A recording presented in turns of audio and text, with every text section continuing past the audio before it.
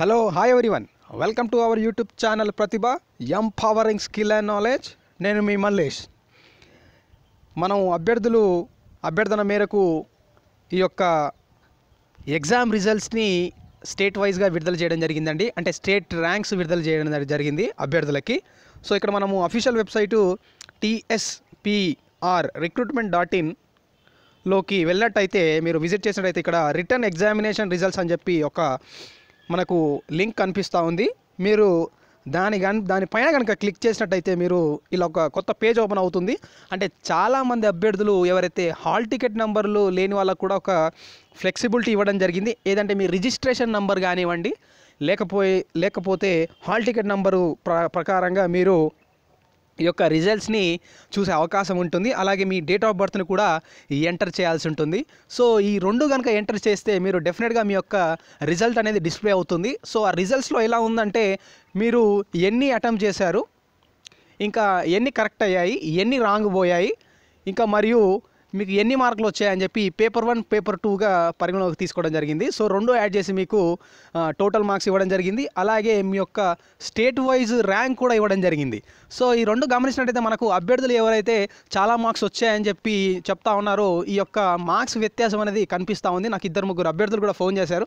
Sir నేను correction చేసుకున్నప్పుడు preliminary కీలో నాకు ఇన్ని మార్క్స్ వచ్చాయి బట్ ఇక్కడ ఇక్కడ చూసినట్టయితే మార్కులు తక్కువగా ఉన్నాయి అని అంటా ఉన్నారు. కొంతమంది అయితే కరెక్టే కరెక్టే ఏమో సార్. ఎందుకంటే మనం సాధారణంగా చూసుకున్నప్పుడు వేరేలా ఉంటుంది ఇక్కడ చూసినప్పుడు వేరేలా ఉంటుంది. అది ప్రిలిమినరీ కీ కాబట్టి కొంత వ్యత్యాసం అనేది ఉంటుంది. సో నేను అభ్యర్థులు ఒకటి చెప్తున్నాను. మళ్ళీ ఎవరైతే డిస్పెన్సరీ ఏదైనా చేంజెస్ ఏవైతే కనిపిస్తూ ఉన్నాయో వారు డెఫినెట్గా మీరు మీ డిజిటల్ ఓఎంఆర్ షీట్ రాబోతుంది కాబట్టి మీరు ఒకసారి మళ్ళీ ఫైనల్ కీ పెట్టుకొని ఒకసారి చెక్ చేసుకోండి. ఏమైనా అభ్యంతరాలు కనుకుంటే మీరు బోర్డుకు తెలపండి. సో నాకు తెలిసినట్టయితే మామూలుగా మనం చూసినట్టయితే ఈ యొక్క మరి అంత చేంజెస్ ఉండకపోవచ్చు. ఎందుకంటే వీళ్ళు చాలా technique high technology use use చేస్తారు ఈ ఓఎంఆర్ షీట్ కరెక్షన్స్లో.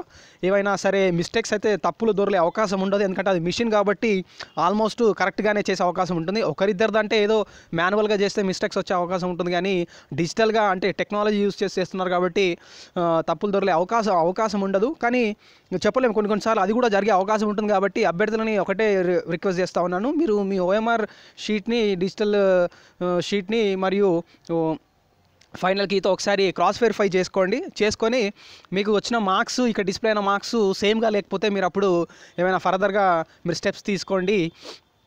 ఇంకోటి ఇక్కడ వీరు సెలక్షన్ అనేది వీరు ఎలా చేశారంటే రెండు పేపర్లు మ్యాండేటరీ అని చెప్పారు. సో మార్క్స్కి కన్సిడర్ చేయడానికి. సో రెండు పేపర్లు అటెంప్ట్ చేసిన వాళ్ళే ఇందులో పరిగణలో తీసుకోబడతారు సెలక్షన్ లిస్ట్లోకి. ఇంకోటి ఇంకోటి ఏంటంటే ఇందులో మనం చూసినట్టయితే ఈ యొక్క సెకండ్ లిస్టు ఇవన్నీ ఉంటాయా లేదా అని చెప్పి నేను ఆల్రెడీ వీడియో చేశాను. డెఫినెట్గా ఉంటుందండి. రాబోయే రోజుల్లో సెకండ్ లిస్ట్ కూడా ఉంటుంది.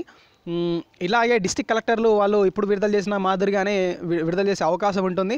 సో సర్టిఫికేట్ వెరిఫికేషన్ కూడా కొనసాగుతోంది కాబట్టి ఎవరైతే అభ్యర్థులు ఎవరైతే ఉన్నారో వాళ్ళు డెఫినెట్గా మీరు ఆ వెరిఫికేషన్కి అటెండ్ కండి. సో ఆ బోర్డు కూడా ఒక మంచి నిర్ణయమే తీసుకుంది. ఈ యొక్క ఏవైతే అపోహలు ఏవైతే ఉన్నాయో వాటిని అన్ని తొలగించాలని చెప్పి వాళ్ళు కూడా స్వ- స్వత్తరంగా రియాక్ట్ అయినందుకు వారికి కూడా నేను ఈ వీడియో ముఖంగా థ్యాంక్స్ చెప్పదలుచుకున్నాను. ఇంకా అన్ని అనుమానాలు తొలగినట్టే అనుకుంటున్నాను. సో ఈ వీడియో కనుక నచ్చినట్లయితే లైక్ చేయండి షేర్ చేయండి. ఏమైనా డౌట్ ఉంటే కమెంట్ చేయండి. అలాగే ఇలాంటి మంచి మంచి వీడియోస్ కోసము ప్రతిభా యూట్యూబ్ ఛానల్ని సబ్స్క్రైబ్ చేయండి. Thank you for watching signing off నేను మీ మల్లేష్.